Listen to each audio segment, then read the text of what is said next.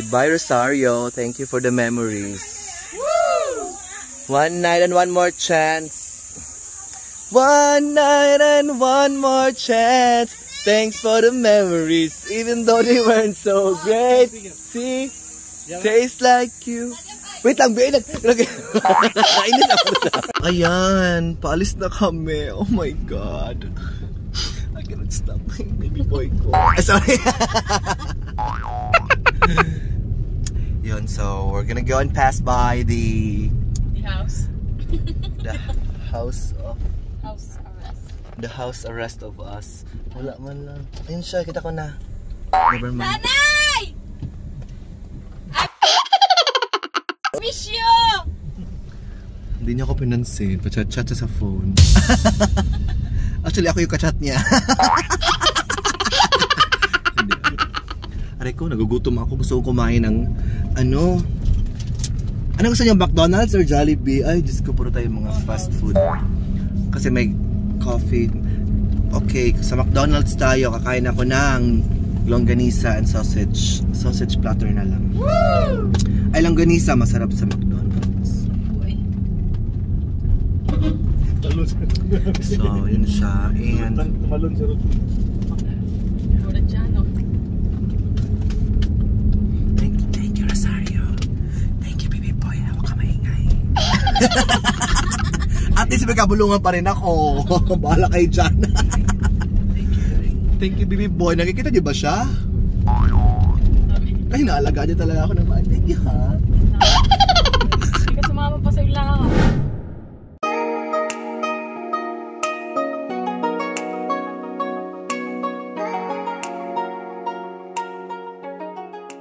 Ang Rosario. Hello, Rosario! Ngayon pa nag-hello pa. Anong chapel? Ay, Our Lady of the Rosary Parish. Hello po. Ano, ano.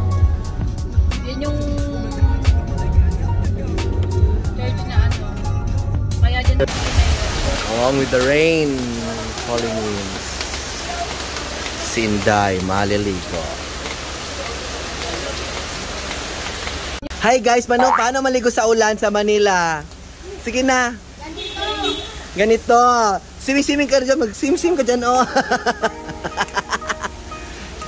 Dahil dito ka dyan, kusog diri ang, agas, Day. Day, sige na, Inday. Gwapa makakakaroon, Day. Day. Ay, tugnawan ka, ana, pag hinay ang, hinay ang kuan.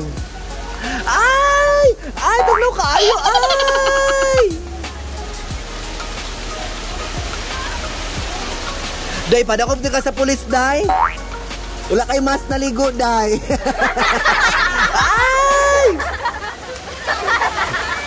Diri tayo, diri tayo, kada, kada kusog ang tubig, diri tayo, oh. Gwapa kasi Inday, oh, Day. Hi, so I'm on my way to the dentist. My god. I hope I can sort things out from my. Because it's... Yeah, so this is Manila. So, let's see what the dentist can do with this case.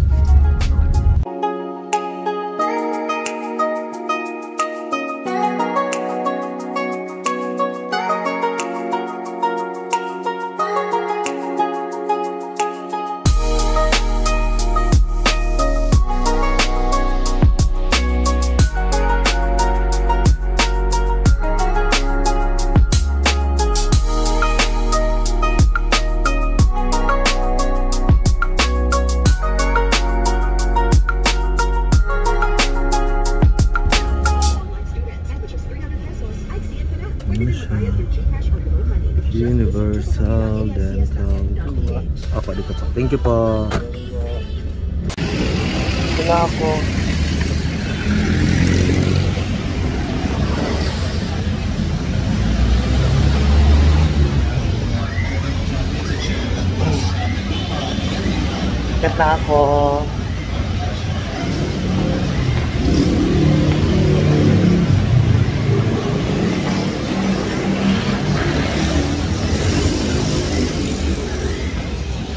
So naka-appointment ako ng 1 p.m. Pero late na ako ng 20 minutes.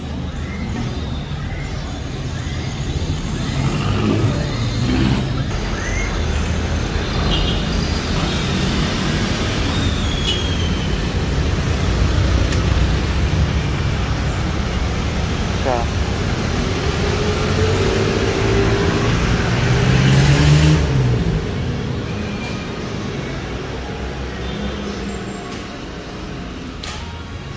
Hello.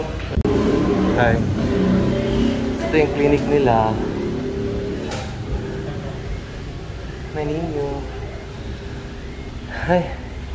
Napagod ako kakalakad.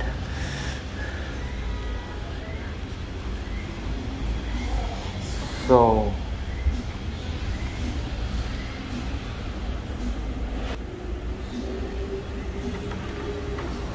ito kasi yung. So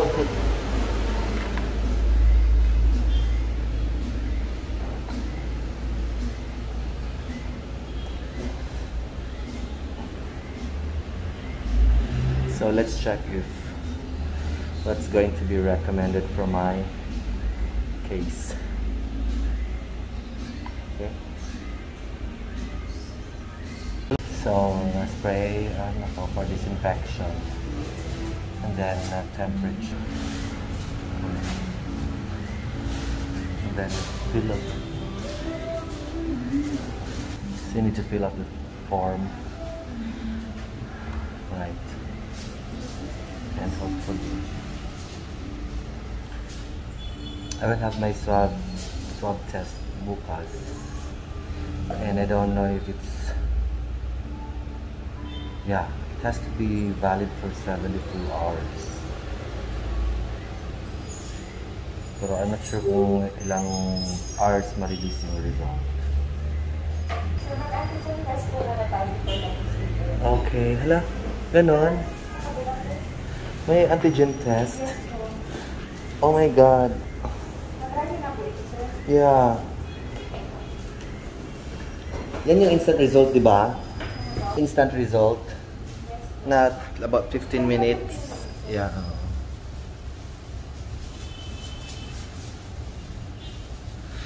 Oh my God, eh, sa swab niya ako. I didn't read it somewhere. kailangan pa lang. kailangan pa lang i-swab.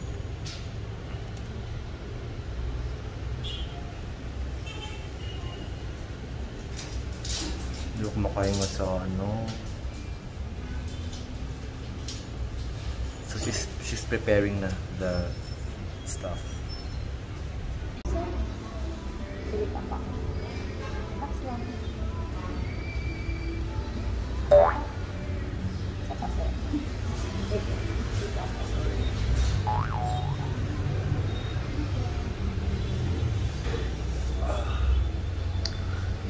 Tissue ka?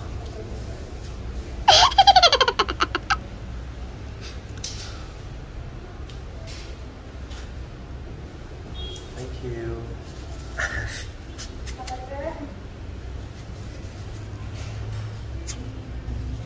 My God, I'm scared.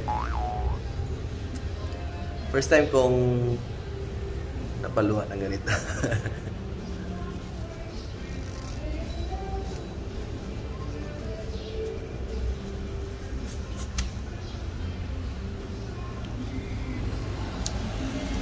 lang. Okay, operahan na ako. No sleep lang po, tsaka ano.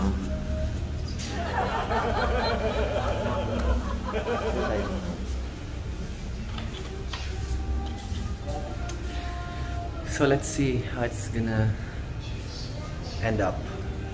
Ang ganda ng shoes ko. Para ko si Peter Pan. Ay, nako.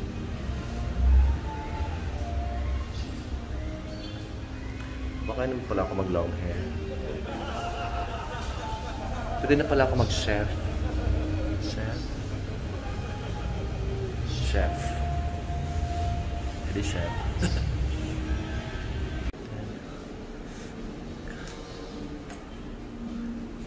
First set is done.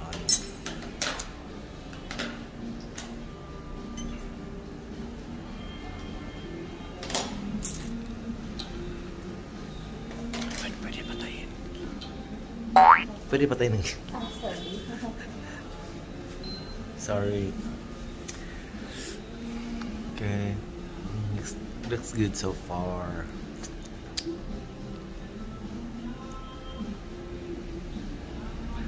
Gamso kasi nawakit dito.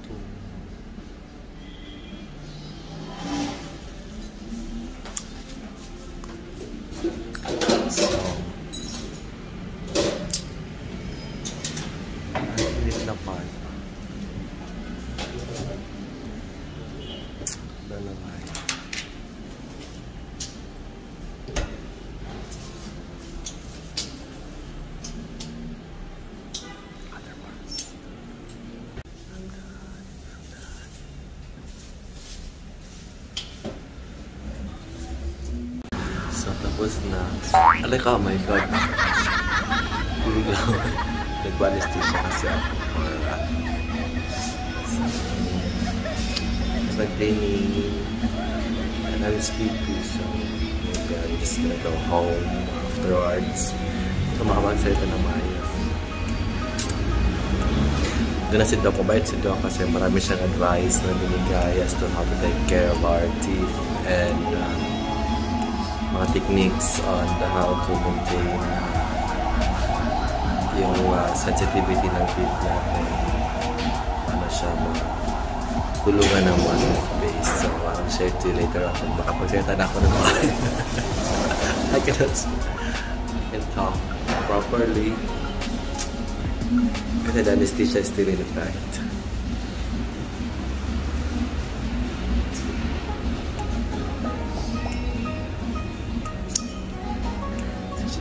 Care about your teeth so you can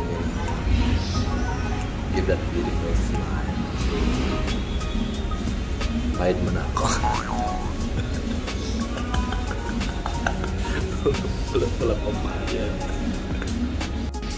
I'm done paying, so... Yun na rin yung driver. The driver's there.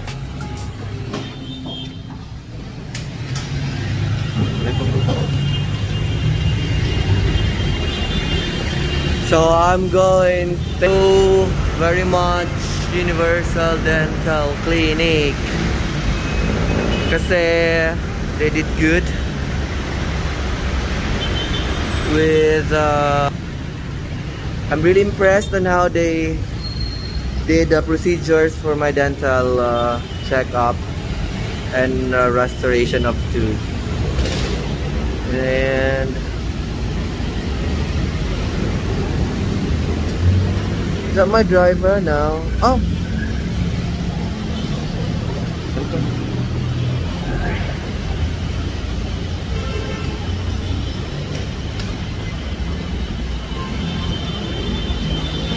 I'm hungry but the anesthesia is still ano in effect so up too white.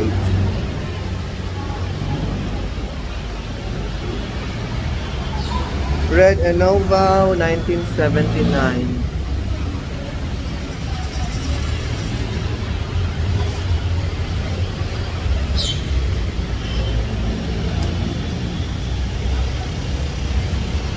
Oh my God! Diba?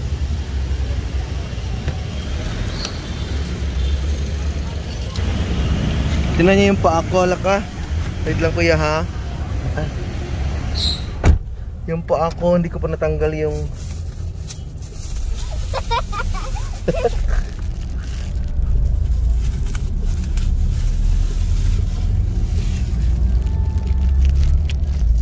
So, uwi na ako and uh, need to maybe eat something or sleep. I'm so sleepy.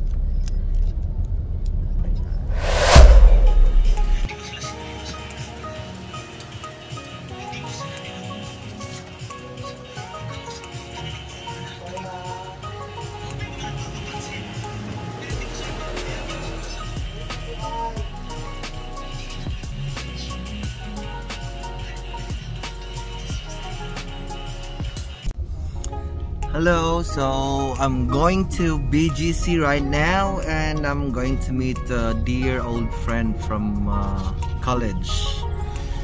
Because we were going to have dinner, we are going to have dinner and you know catch up with things. It's been a while since the last time we saw each other and right now I think it's a good time to you know uh, share stories of life and progress over good food.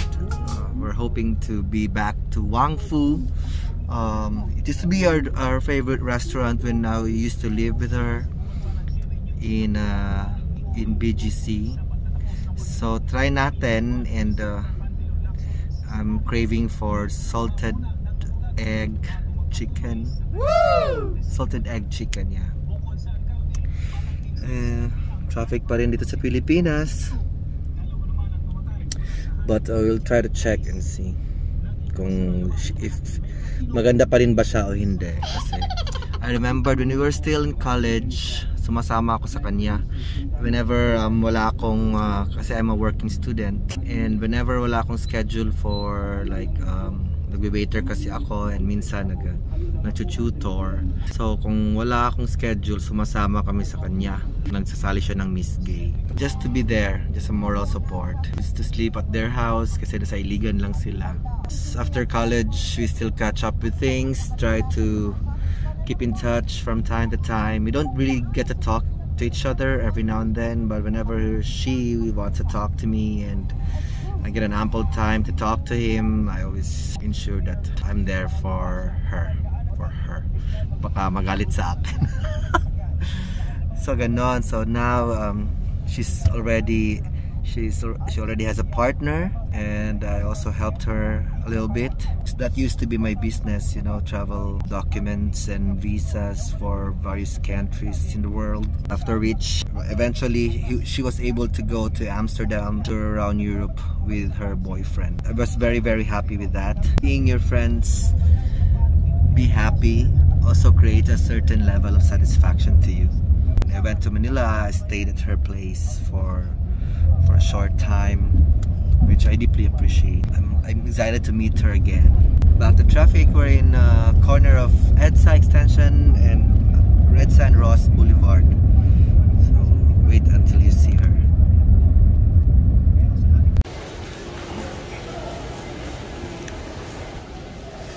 So I'm here and I'm on my way there. So that's our target.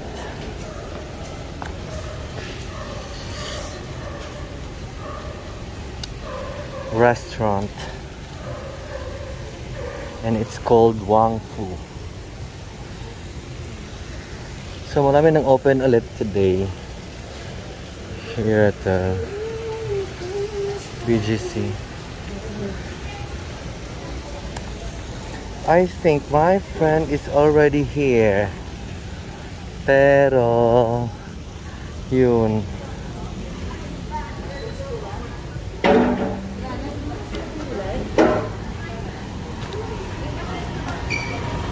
All alone. Ay, ang ganda ng friend ko. Hi, Ter. si David. Hi. Hi. Okay. Ay, ako nito. ay ako nito. O daily vlog, vlogs lang man nakuha. So, oh my God. Dili siya presong last time, no? Nga, Dahil na gani nga, katotang card. kato magtulog-tulog gud ang katong yellow sa salted egg. Oh. And fish kasi dalawa lang kami. Pretty girl.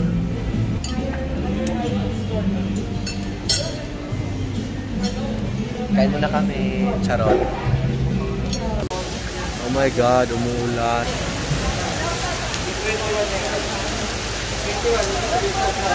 Paano makauwi?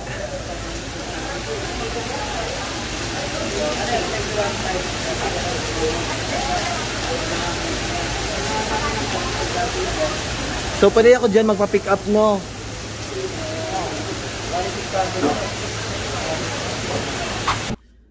Hello, dreamers! So, napanood niyo po yung quick get-together ko sa aking friend. So, he's like my friend for a very long time. And we may not see each other, hindi man kami nagkikita always, hindi kami nagko-communicate always. But we still treat each other as genuine friends. Because, you know, it's very important not to forget your friends. Kasi alam natin that we have different kinds of friends for for different reasons. And I know that this friend of mine is a real friend that I can treasure. So even if we don't talk, if we don't talk to each other every day, I still go and talk to her and meet her if possible. So wag nating kalimutan ang mga kaibigan na kasama natin at sabay nating nangarap. Kasi yun yung mga totoong kaibigan na handa kang tanggapin at tanggap ka kung ano ka man. Hindi lang natin dapat uh, mahalin ang mga kaibigan na andyan lang ang naabot na natin ang ating mga pangarap. If we already achieved our dreams and we still have those friends who are there for us even when we have nothing. Treasure those friends because those are the real ones who will accept you for who you are and for what you are, no matter what.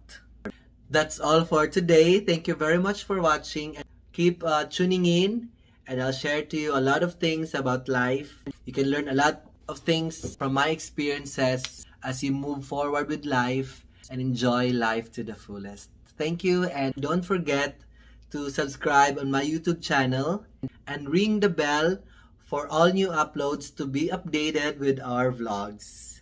Also, if you can share this to your family and to your social media news feeds, I would really appreciate it. And lastly, follow your dreams, work hard, hustle harder, play hardest, stay humble, and be kind. Ciao!